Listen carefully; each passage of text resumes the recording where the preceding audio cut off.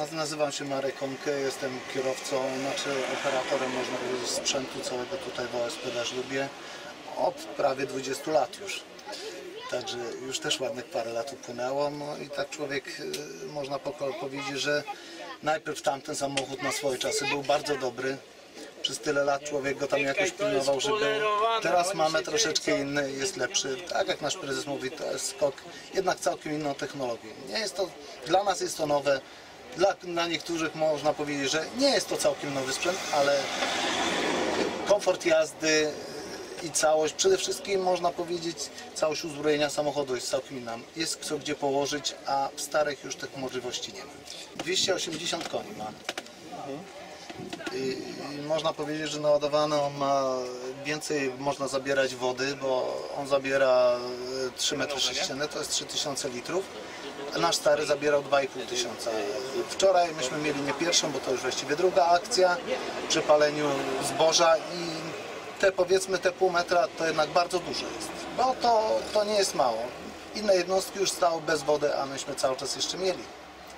A przy paleniu takich susz, susz powiedzmy traw czy czegoś takiego, to jest jednak kolosalna różnica.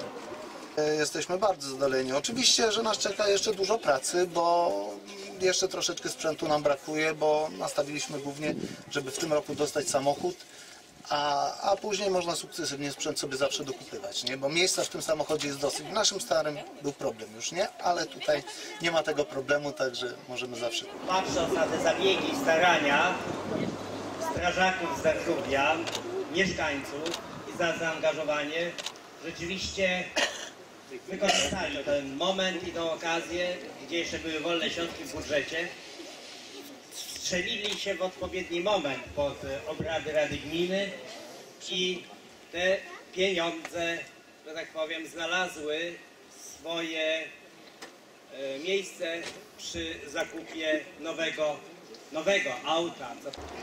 W tej chwili chcielibyśmy przekazać z panem ministrem kluczyki, żeby dobrze służył i wypełniał swoją służbę. Jeżeli można jeszcze to dwa zdania dosłownie. Gratuluję dobrej roboty i skutecznego działania wszystkim druhom z OSP w Darżlubie. Nowy samochód to inicjatywa, którą podjęliście. Marzenia się spełniły, a więc niech służy. Ja chciałbym tylko zadeklarować, że w miarę moich możliwości będę również Waszą jednostkę wspierał, a dzisiaj mały drobiazg również na ręce Pana Prezesa. Dziękuję i gratuluję.